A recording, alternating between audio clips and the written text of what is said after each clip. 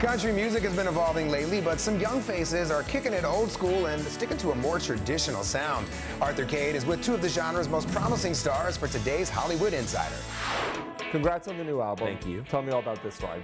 Well, it's my fourth fourth album. It's uh, 13 songs that just really kind of displays the boy I was and the man I want to be. You can officially announce your new single, can't you?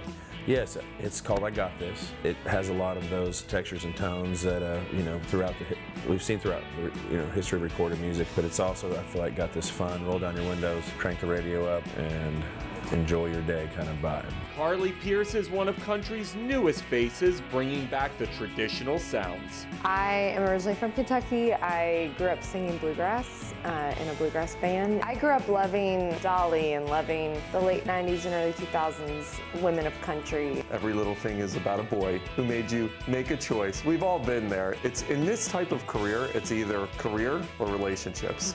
what do you think he's thinking now as you're having this success? Mm, he, that was, yeah, that was it. If I could tell him anything, thank you. Your songwriting is incredibly personal. How much of you, A, gets poured into this album, and how cathartic or therapeutic is it to put those emotions into words? Very, very much. I feel like this album is my therapy session. Um, I, I think there are different kinds of artists, there are different kinds of songwriters. For me, I'm telling you my stories because I feel like the songs that I connect to the most are the ones that come straight from the artist.